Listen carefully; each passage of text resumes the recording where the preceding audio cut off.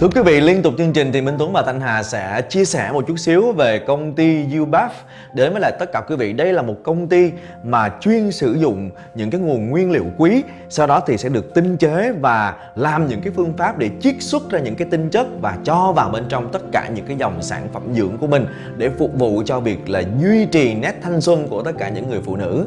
Và sản phẩm này thì cũng đã xuất khẩu sang rất nhiều những thị trường lớn, ví dụ như là Trung Quốc, Philippines và ngày hôm nay thì đã có mặt tại thị trường của Việt Nam. Và sản phẩm này đã đạt được giải thưởng và được bán ở trong một cái cửa hàng miễn thuế rất là nổi tiếng ở Hàn Quốc đó chính là Shinsake À. thì anh hỏi là em đến đây bao giờ chưa? À, anh nói thật là anh đi Hàn Quốc rồi nhưng anh chưa đến. À thế ạ, Ừ. Shinseke thì lần nào em ra sân bay quốc tế Incheon thì em cũng phải vào đấy em mua đồ mua đồ miễn thuế ạ. Thì ở cái siêu thị đấy siêu thị miễn thuế đấy thì nó rất là to cái quy mô nó rất là lớn. Và sản phẩm thì tất nhiên là nó cũng là sản là những cái high Cao cấp. brand đúng rồi high end các thứ Ừ.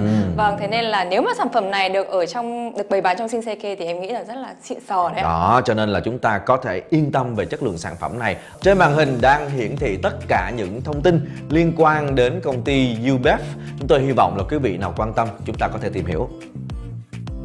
À, anh mời Hà có thể cầm với nước hoa hồng này lên em thấy cái điều gì đặc biệt bên trong giúp anh.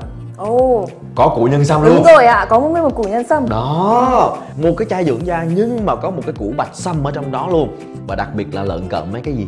và Đó. Thì chúng ta sẽ có là một chai toner nè Một cái chai tiếp theo là cái chai emulsion. Sau đó thì là một cái tinh chất đậm đặc là essence. Và cuối cùng một cái bước đặc biệt để chúng ta khóa ẩm Đó chính là kem dưỡng ổ bôi đây rất là mát anh ạ Phát hả? Em, Dạ em vâng. thử cho anh biết cái mùi hương này kìa hương nó nhẹ. Nhẹ hương nó thơm nhẹ không còn bị nồng quá. Quý vị sẽ thấy là nhân sâm thì trong sâm có saponin Saponin là một trong những cái chất mà nó có thể duy trì sức khỏe của tế bào Cho nên người ta dùng nhân sâm để chống lão hóa là như thế.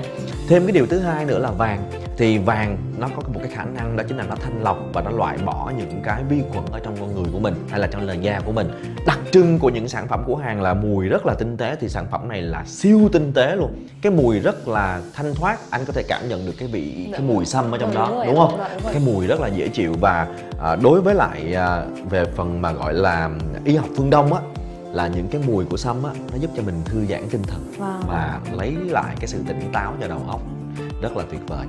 Thêm một cái điểm đặc biệt nữa là đối với lại Ibum, thì chúng ta còn có một cái loại mặt nạ. Và trong mặt nạ nó thì cũng có tinh chất nhân sâm. Và chúng tôi cũng có luôn cả mật ong. Mật ong thì chúng ta biết là có khả năng là sát khuẩn và làm dịu da, kết hợp cùng với lại nhân sâm nữa. Thì đây là một trong những cái mặt nạ mà chúng tôi nghĩ là vô cùng cần thiết cho chị em phụ nữ. Sau khi sử dụng thì em thấy rất là thích và muốn sở hữu luôn hai bộ.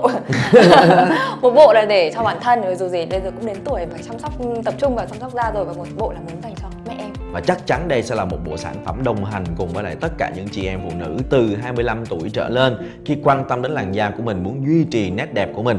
Và nếu như tất cả quý vị à, đang theo dõi chương trình chúng ta có nhu cầu liên kết cùng với lại công ty UBEP thì quý vị có thể liên kết với lại Cotra Hà Nội, cơ quan xúc tiến thương mại và đầu tư của Hàn Quốc tại Hà Nội để chúng ta sẽ cùng nhau kết nối và thông tin. Chúng tôi đang hiển thị trên màn hình. Khi mà ừ, sở hữu một cái bộ sản phẩm thì chúng ta thấy là cái phần hộp để chứa rất là đẹp. Ờ, nó mang đậm chất Á Đông nhưng mà cũng rất là sang trọng luôn. Và cái điều yêu thích thứ hai mà Tuấn nghĩ Hà sẽ rất thích là bộ mỹ phẩm này sẽ được tặng cho Hà à, cảm ơn ờ, Thanh Hà đã đến với lại chương trình ngày hôm nay và chia sẻ những cảm nhận xoay quanh bộ mỹ phẩm này rất là nhiều. Dạ vâng cảm ơn rất là cảm ơn anh. Rồi chúng tôi cũng cảm ơn tất cả quý vị đã quan tâm theo dõi chương trình. Còn bây giờ thì Minh Tuấn và cả Thanh Hà xin chào và hẹn gặp lại